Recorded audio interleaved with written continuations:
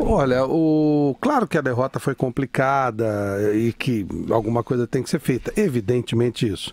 Mas é preciso tomar um, um certo cuidado, porque o Palmeiras vem fazendo um trabalho, e ele foi campeão ano passado, ele ganhou a Copa do Brasil recentemente. Você destruir tudo não me parece uma coisa muito inteligente. Tem que ser uma coisa feita com parcimônia para não estragar o que está aí. Começar do zero é besteira.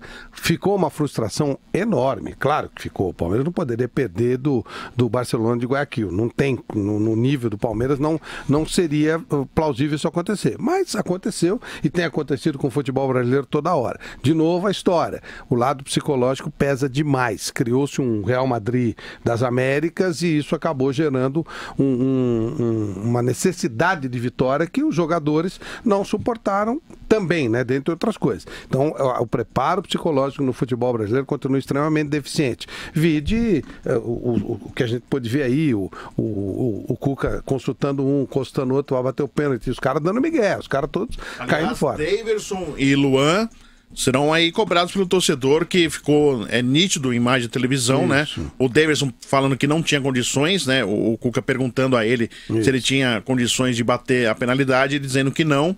E ao Luan, da mesma forma que não quis bater a penalidade. Pois é, o, o, o, e o, o Egídio teve a coragem de Isso, bater e eventualmente errar. O Luan e o Davidson, com essa postura, não, não errariam nunca. Mas tudo isso passa por uma condição psicológica.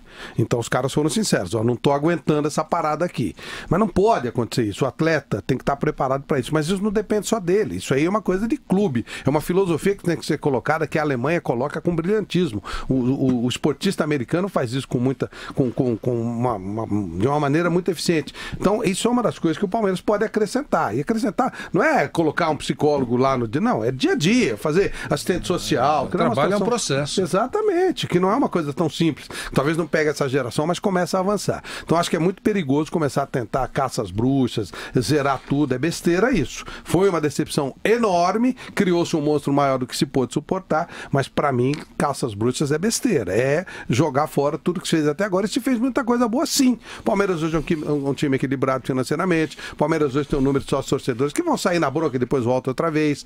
Começar a ganhar coisa melhora. Uh, o Palmeiras tem um elenco muito forte. A própria renda dos jogos. Né? A renda dos jogos são legais. Então jogar tudo isso pela janela, para mim, é besteira.